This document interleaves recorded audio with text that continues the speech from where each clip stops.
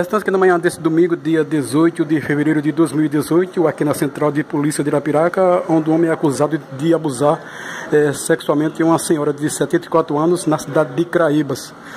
É, após o ato, ele saiu correndo e a população o seguiu e reconheceu e linchou mesmo. Se não fosse a polícia, ele tinha morrido.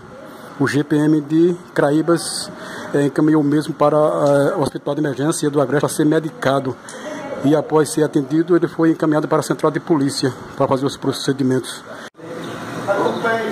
A Anicácio é natural de Pernambuco, é? A Anicácio é acusado de ter abusado de uma senhora de 74 anos lá na cidade de Craíbas hoje de manhã. Você é só acusado só de. Sim, foi. É, como foi que aconteceu lá? Sabe como foi que aconteceu? É mais. A população pegou você lá, foi? E espancou? Dos policiais. Aí acusaram você de ter estrupado uma senhora de 74 anos na cidade de Craíbas.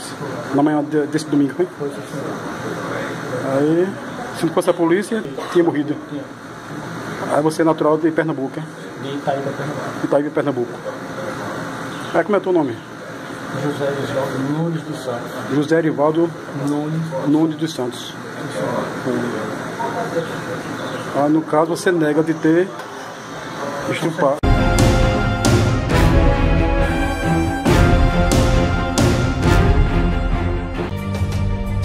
Jean Notícias, sempre de olho.